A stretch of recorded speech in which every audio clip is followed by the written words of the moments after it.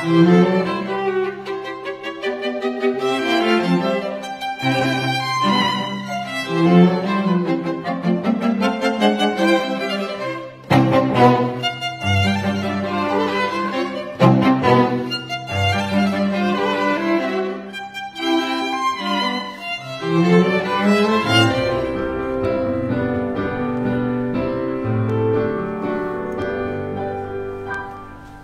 morning. Ah, it's hot out there. Oh, I can't stand it. It's just so hot. I keep, I, if I'm delusional like that, it might actually come true. So, you know, they say if you want it, dream it. So it is freezing. Thank you for bearing the cold and bearing the weather to, to be here this morning. And with that, let's open with a word of prayer. Our dear Heavenly Father, I do thank you for those in attendance this morning. We do thank you for the, the, the safety of the, the roads that people could come this morning. May we just have a blessing as we open the Word of God together. In Jesus' name we pray. Amen. The first song is number 91 Tis So Sweet to Trust in Jesus, page number 91.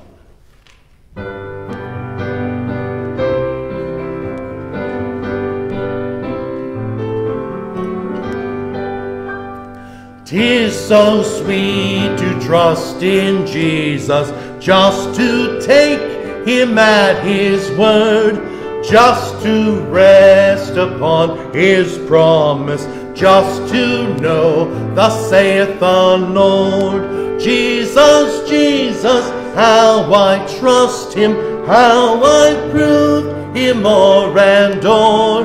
Jesus, Jesus, precious Jesus, Oh, for grace to trust Him more.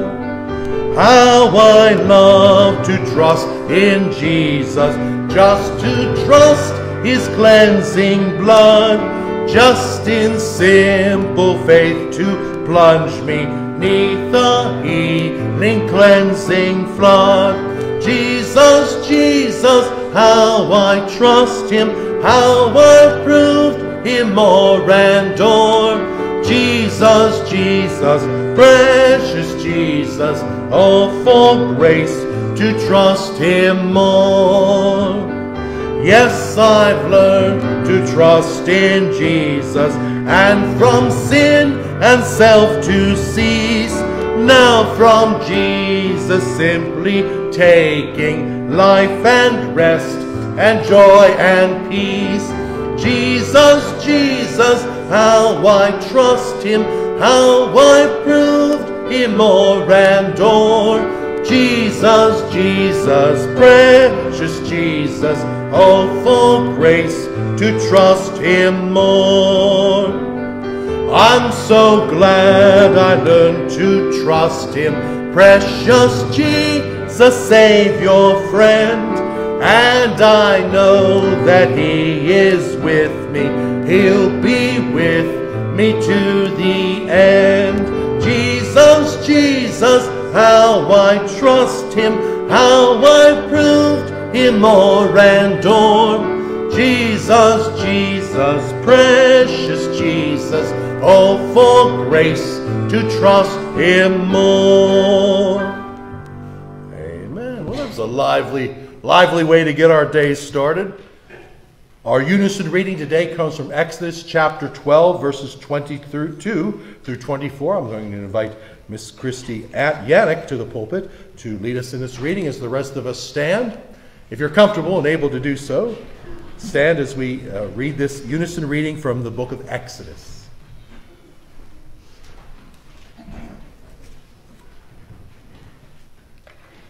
And ye shall take a bunch of hyssop, and dip it in the blood that is in the basin, and strike the lintel and the two side posts with the blood that is in the basin. And none of you shall go out at the door of his house until the morning, for the Lord will pass through to smite the Egyptians. And when he seeth the blood upon the lintel and on the two side posts, the Lord will pass over the door and will not suffer the destroyer to come into your house to smite you. And ye shall observe this thing for an ordinance to thee and to thy sons forever. Amen. And may the Lord add his Blessing to the reading of his word, and you may be seated. When we left off last week, the Egyptians are still slave masters over the downtrodden, very much abused Israelites. God sends Moses along with his brother Aaron to meet with the Pharaoh, insisting that he allow the Hebrew people to go free for a three day journey so they may go into the wilderness and worship the one and true God. The Pharaoh refuses.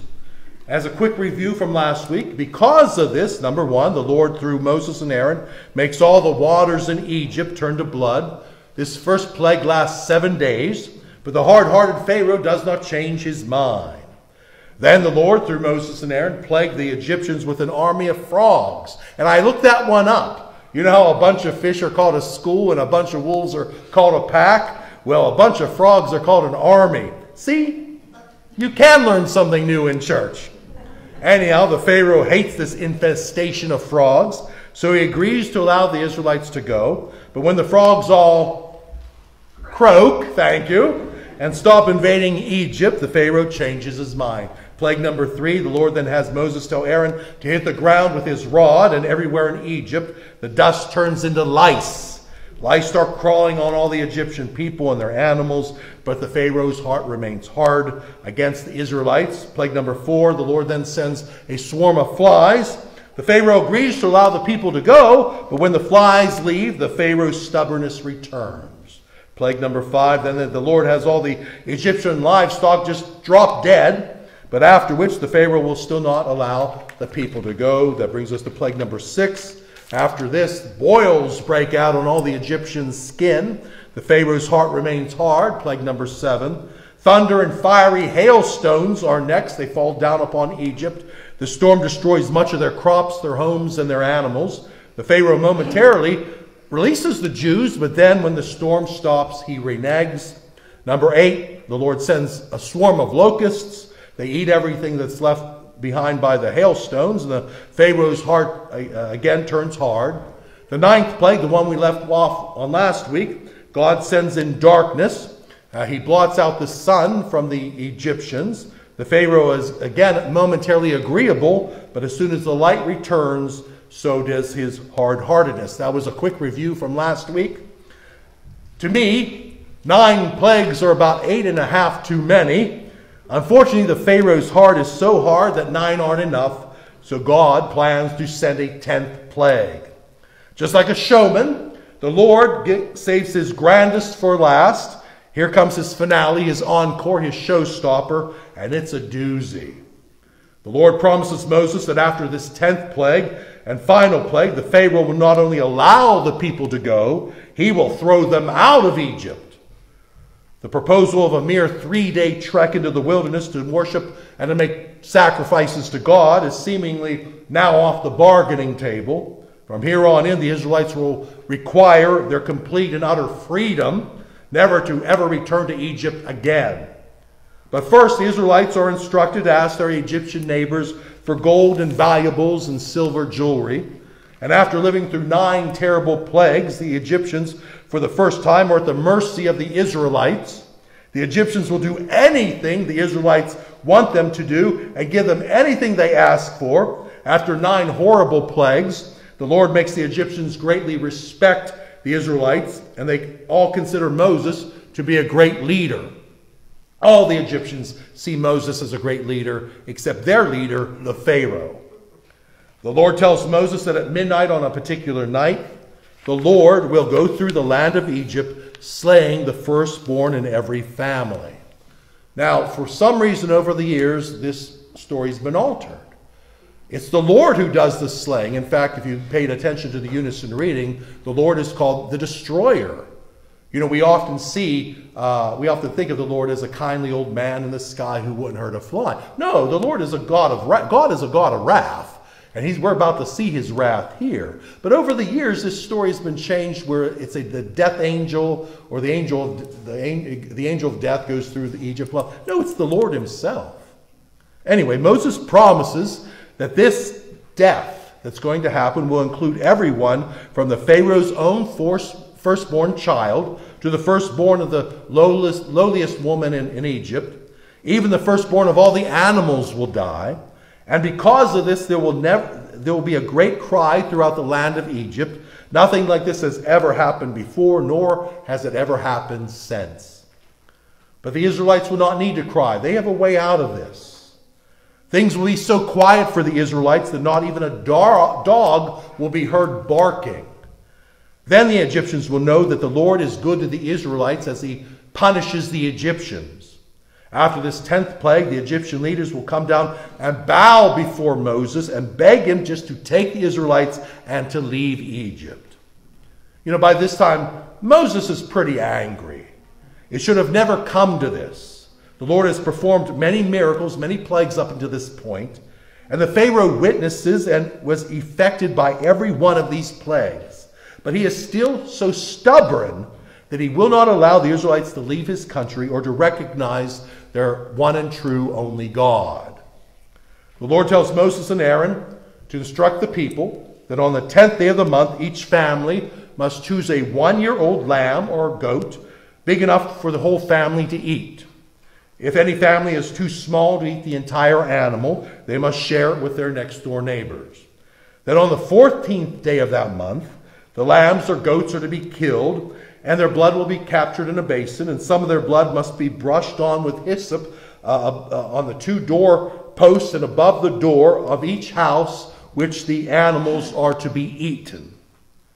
That night, the animals are to be roasted and eaten together with bitter herbs and thin bread made without yeast. The lamb must not be eaten raw or boiled. The whole animal, including its legs, head, and insides, must be roasted. The animal must be eaten that night. Any leftovers need to be burned the next day. And during all this, everyone must be dressed, packed, and ready to travel. The Israelites are about to make their big getaway. That same night, the Lord will pass through Egypt and slay the firstborn in every family and the firstborn of all the animals. The Lord will look over all the houses, but then he will overlook the houses which have the blood on their door frames. That's a salvation, salvation message, which I'll say for another time. The Lord will pass over the families with the blood. That's where we get the, the term Passover. The people hang on Moses and Aaron's every word. They don't want to mess this up. They don't want to get this wrong. I'm sure they're writing it. Now, we're to, the lamb, okay, what do we do? The 10th, okay, the 14th day, okay. They're taking all this down because one slip up and their firstborns will die as well. The Israelites obeyed Moses' instructions to the T. So the night comes. The Lord visits Egypt. And just as promised, the firstborn of every Egyptian family is found dead, from the son of the Pharaoh to the sons of every lowly prisoner in jail. God truly is no respecter of persons. If we think that our status here on this earth impresses God, we are so fooling ourselves. Also found dead, as I said, the firstborn of every animal that belongs to the, the, Egyptians. Well, in the middle of the night, the Pharaoh and his officials and everyone else in Egypt wake up and they start crying bitterly. Their, their, their wailing can be heard from all over. In every Egyptian home, someone is found dead, but the Israelites' firstborns are spared. Still nighttime, the Pharaoh summons for Moses and Aaron and tells them to get their people and to leave the country quickly. The Pharaoh orders them to take their stupid sheep and their blasted goats and all that belongs to them and, and just get out. But the Pharaoh also requests that the God of the Hebrews be merciful to him. So there's a little bit of a silver lining. At least for a moment, this evil Pharaoh recognizes our God. The Egyptians do everything they possibly can to get the Israelites to leave their country as fast as possible. I think they're afraid that if the Israelites don't leave quickly, that their God Jehovah will send an 11th plague, killing all the survivors. Now, I just gave you a brief overview of the events surrounding the, the Passover, the 10th plague. Please make it a point to read the story and all the rules attached to the Passover plague in their entirety. The Passover story begins in Exodus 12. Anyway. So the Pharaoh, it seems, the Pharaoh finally lets the children of Israel go. That day he loses thousands and thousands of slaves. Is this really the end? Is the Pharaoh finally over his stubbornness? Has his heart finally softened? Well, no, but we'll get back to the Pharaoh in a few minutes. The Israelites seemingly have two options as they escape Egypt and travel toward the promised land. First, they can go through the Philistine territory, but the Lord knows, even though He will protect them, once the Israelites see the mighty Philistine armies, they will turn tail and run straight back to Egypt for safety. And then we'll have to begin all this all, all over again. Well, the Lord doesn't want that. He didn't deliver 10 plagues so that they could return back to where they came. So the second option, really the only option, is for them, for the Lord to take the Israelites another way toward the Red Sea. All the Israelites have packed their belongings, their clothes, their food, their essentials, the jewelry they borrowed from their Egyptian masters. But the Bible tells us that Moses takes with him something unusual. He takes with him the bones of Joseph. You know the story. We just taught it maybe a month ago, many years prior. Also a, uh, also a Hebrew, uh, this Joseph became the second most powerful man in Egypt so that God could, through him, save his people from a great seven year famine. Joseph was buried in Egypt. Moses sees a chance to rectify this. Moses plans to bury the bones of Joseph in the promised land. In a day before GPS and even road maps, God steers the group of thousands upon thousands of Israelites by having them follow a pillar of cloud during the daytime and a pillar of flame at nighttime. I don't exactly know what that means, whether this was in the sky or ahead of them, or, or maybe how big it was, how small it was, I don't know. I just know this moving pillar of cloud and this moving pillar of flame could be seen by all, assuring that if following, assuring, assuring those following these pillars will not get lost. So let's get back to the Pharaoh. Never one to learn his lesson, never one to count his losses, never one to take his lumps or to quit while he's behind. Soon after the Israelites are set free, the Pharaoh has second thoughts about losing his thousands of servants. The Bible estimates the Israelite numbers as to be about uh, 600,000. That's a big exodus from your country. Anyway, I was going to say something about that. Could you imagine? Could you imagine if 600,000 people just showed up at your border? I'm just saying that would just be. I can't imagine. The Pharaoh commands that his chariot be made ready and brought to him. He then has his captains make ready their chariots to follow after him. There are 600 chariots involved, and we're not told how many horsemen, how, how many people are on horseback traveling with them. All the soldiers, of course, are armed with weapons. The Israelites are not. The Egyptian army pursues after the Israelites, who are mainly traveling on, on foot. It doesn't take the Pharaoh's army too awfully long to catch up to these Israelites who have their children and their elderly slowing them down. And there the Israelites are, stuck between a rock and a hard place, stuck between the devil and the deep blue sea, literally. They have the Red Sea in front of them and the mighty Egyptian army behind them, pursuing after them. If they go forward, they will drown. If they go back, they'll be killed. They are a trap they're, they're like rats in a trap, and there is no apparent ex- escape. Recognizing their predicament, the people speak very harshly and very sarcastically to Moses. I'll give you the modern day translation of this. They, they said, Was there no, Moses, I'm just curious, was there no available place to bury our dead bodies in Egypt that you needed to bring us out to this God forsaken wilderness so we could die and be buried here instead? That's, that's, that's so delicious it can't be fat free. I love that, that sarcasm. Why'd you bring us out of Egypt? Why couldn't you have minded your own business and left us alone? The people forget that they have something on their side more powerful than Moses. Why? The people will have someone on their side even more powerful than the mighty Egyptian army. And Moses reminds them, Fear ye not, stand still. In other words, hush and see the salvation of the Lord, which he will show you to you today. For the Egyptians whom you have seen today, you shall see them never again no more. The Lord shall fight for you, and ye shall hold your peace. In other words, just shut up and let the Lord work here. So, what happens next? Well, you have to come back next week, but you've seen the movie. You know what happens next, but come back next week and hear it from my mouth. Let's turn to page number 495. It is well with my soul. page number 495.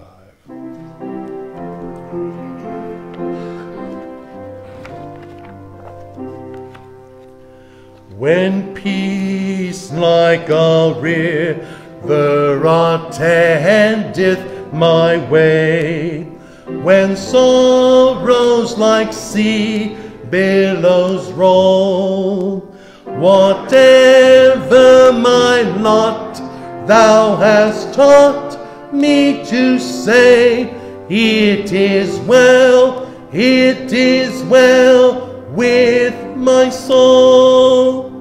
It is well with my soul.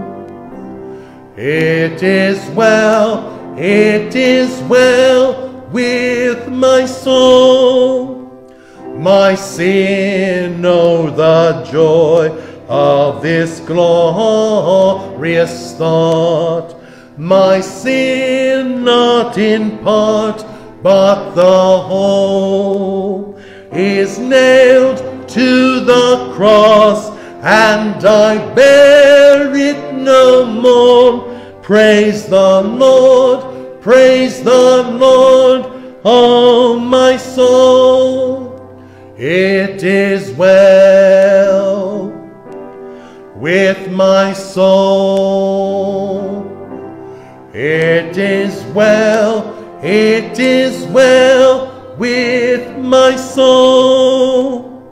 And Lord, haste the day when my faith shall be sight.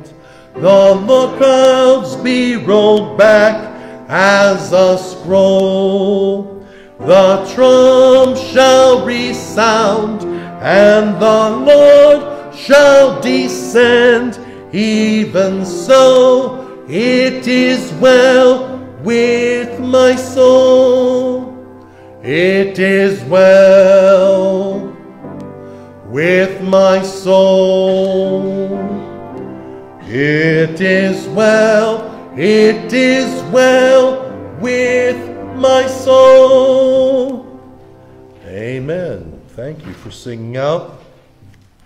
Our responsive reading comes from two passages in the book of Psalms Psalms, the 22nd Psalms and the 71st Psalms. Please stand if you're able and comfortable as I invite uh, Brother Tom Anderson to the pulpit to lead us in these, this reading from Psalms, the uh, Psalms, uh, 22nd Psalms and the 71st Psalms.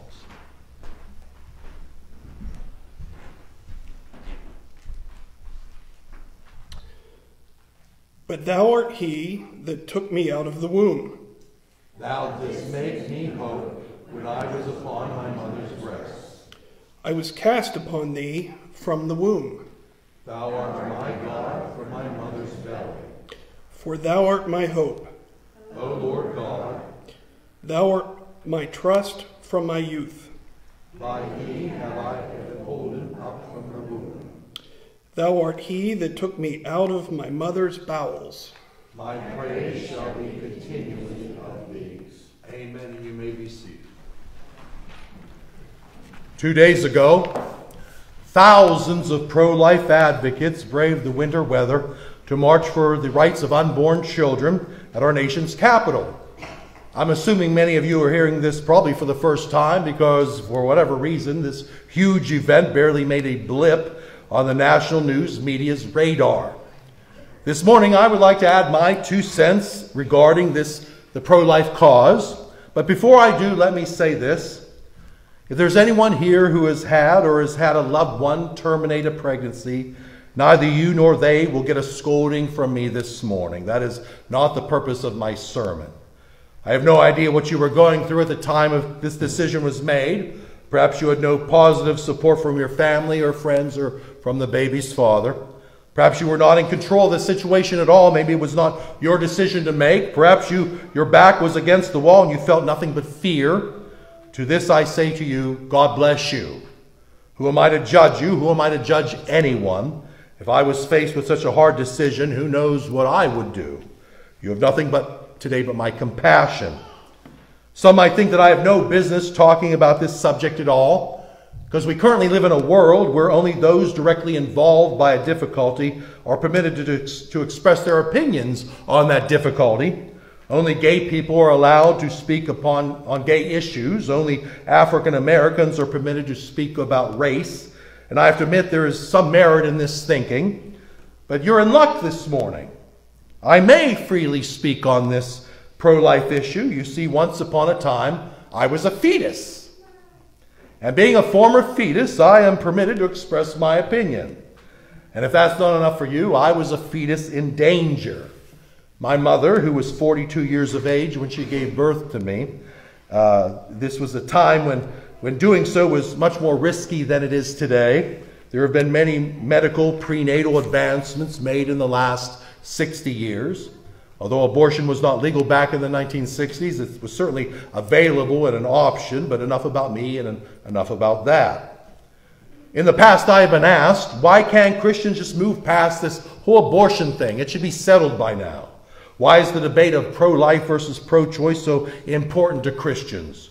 Why is this topic so vital to Christians when we, that we'll even stoop to vote for candidates whom we would otherwise dismiss simply because those candidates timidly claim to be pro life?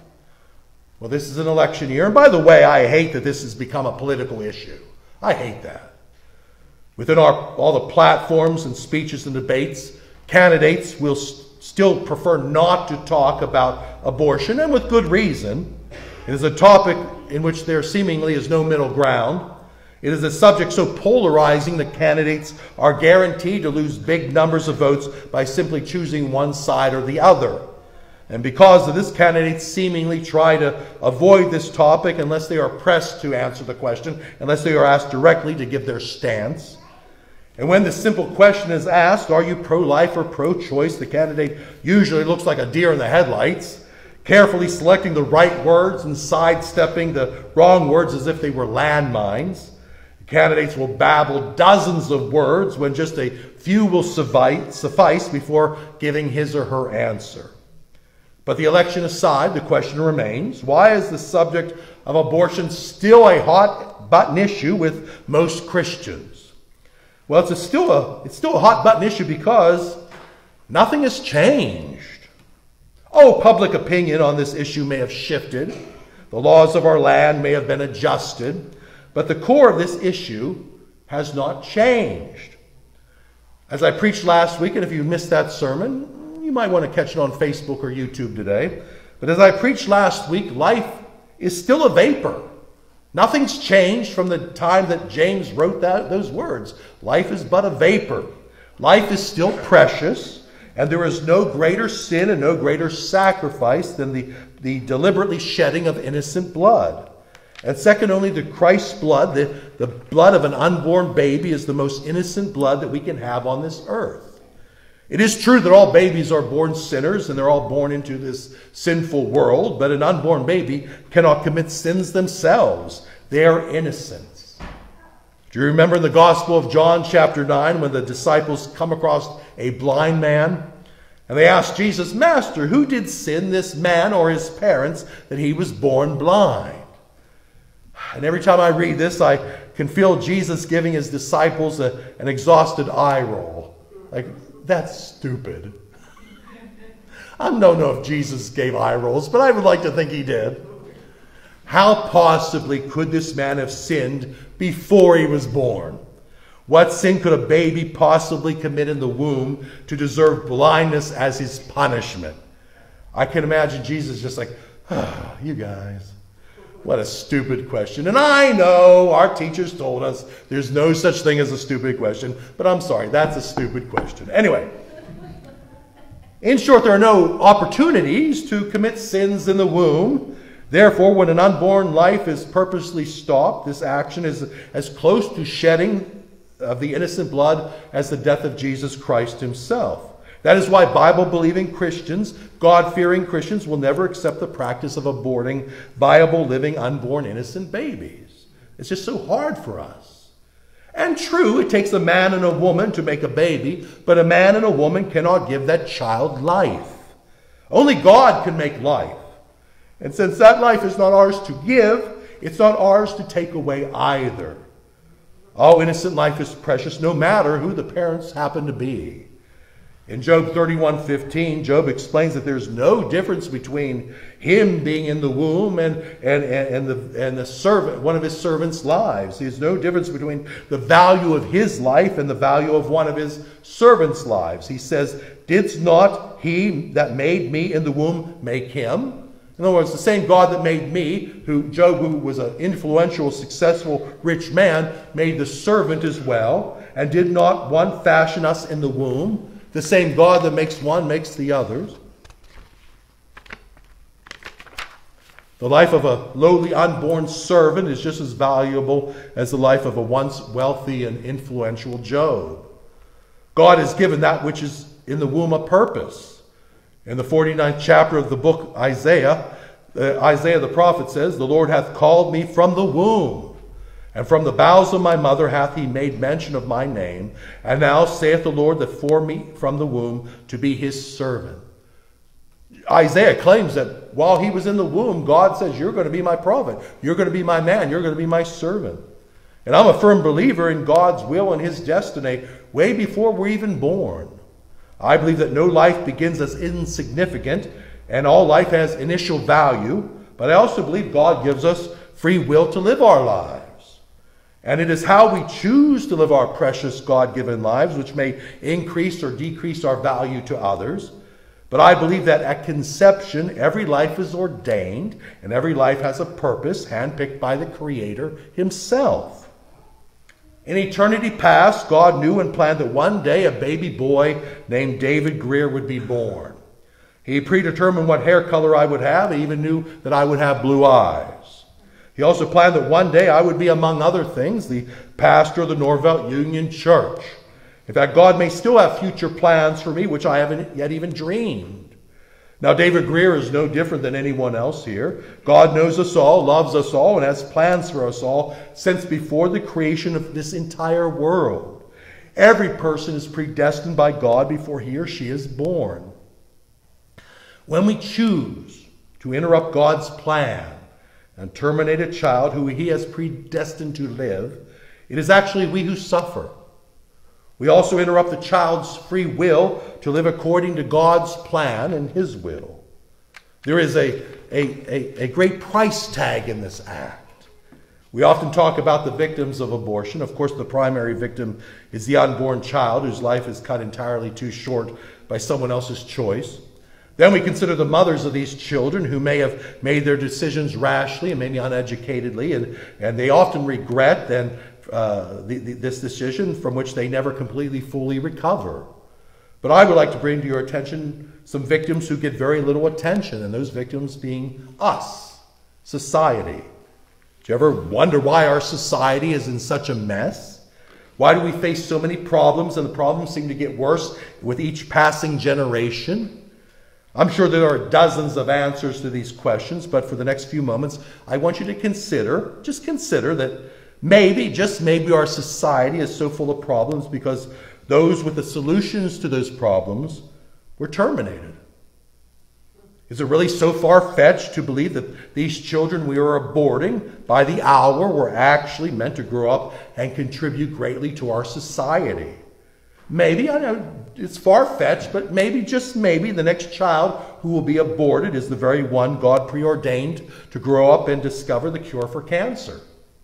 Perhaps the next baby aborted is the very individual who, will, uh, who was supposed to one day act and end an act of terrorism.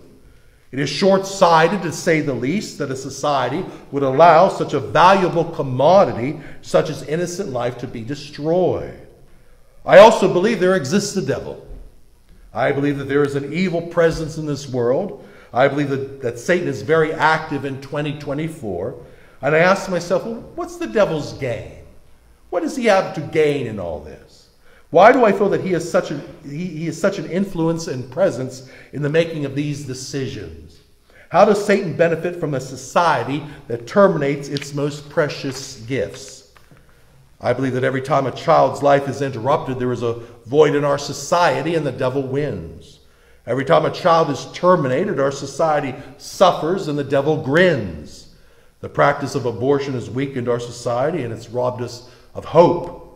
Abortion has helped us to turn this country away from God and leave us faithless and defeated exactly how the devil wants us. Unfortunately, we cannot seem to vote this issue away. Fortunately, there is a power even greater than our elected officials. And with his help, I believe there is hope. There's always hope with, with God on your side. I want to give us a challenge to each one of us. I know they're not very popular topics, but we need to talk more about abstinence and celibacy and fidelity and monogamy and even adoption. We need to spread the word that life is precious in the sight of God. Red and yellow, black and white, we are all precious in His sight. And to those who have already fallen victim to unplanned pregnancies and or abortions, let's share with them that God is their rock and his their refuge and he loves them and he forgives us all of our of our bad choices and our, and our trespasses and our sins. He will help us rebuild our lives. He will help us to help them. He will help us to help them pick them up and pick up the pieces so we can all forge on. Life is precious. You know, I wish all pregnancies were met with excitement. I know that's not the case. But I know, I know there's some that are, that are met, some pregnancies are met as if somebody had just handed these women a bunch of lemons and now they're forced to make lemonade. They're forced to make the best of a bad situation. I wish that weren't always the case. But you see, children are not lemons. And life is not a booby prize. Life is the brass ring I'm told that three babies are aborted every minute in America. Even some pro choice advocates admit that is far too many. But that being said, James tells us that our sinful lives are as precious as vapors. Well, then, how much more precious is that of an unborn, innocent life who has never had a chance to sin? God is our mighty rock, God is the author of life, and God has a plan for that life.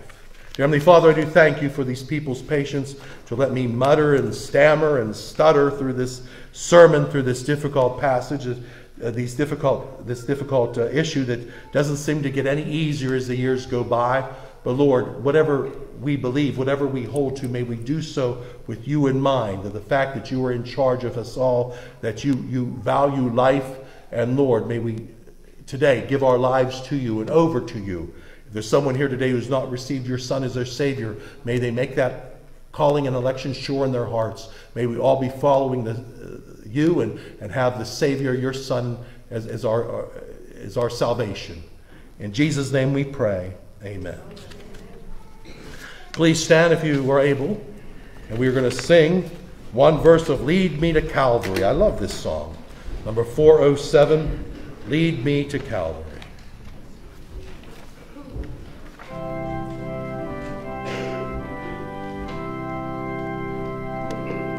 King of my life, I crown thee now, thine shall the glory be. Lest I forget thy thorn crowned brow, lead me to Calvary. Lest I forget Gethsemane, lest I forget thine agony lest I forget thy love for me. Lead me to Calvary. Hey, have a great week. Brother Mike, close us with prayer. Let us pray. Heavenly Father, we give you thanks for the opportunity to gather in your house, Lord, to hear your word and sing praises unto you. Lord, we just ask your blessing upon all on, our, on all on our prayer list. Be with them and guide everybody involved in their care. Just let them feel your presence in their lives, whether spoken aloud or held within our hearts. Lord, we just ask that you be with each and every one of us as we head out into the world. Keep us safe and help us to do your will. We pray all this through Jesus Christ, our Lord and Savior. Amen. Amen. Thanks for coming. Stay warm. We'll see you next time.